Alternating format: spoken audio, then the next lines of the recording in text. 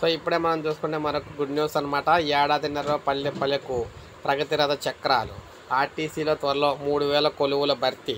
పరిశీలనలో మరో నాలుగు వేల మహిళా సంఘాల నుంచి ఒక ఏడు వందల కొత్త బస్సులు కూడా సమీకరిస్తాం. సెప్టెంబర్ తొలి వారంలో కులగాన ప్రక్రియ ప్రారంభం.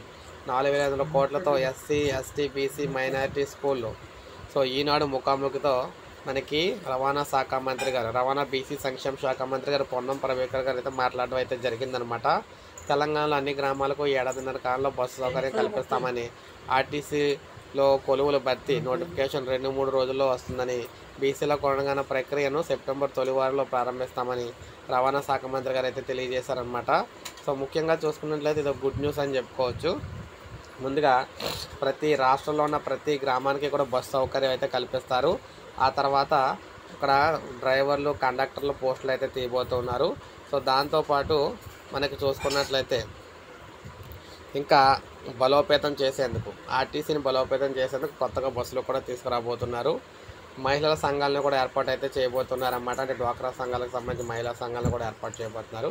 సో ఇది మనకి అప్డేట్. ఒక లైక్ చేయండి సబ్స్క్రైబ్ చేసుకోవద్దు మన ఛానల్ సబ్స్క్రైబ్ చేసుకోండి.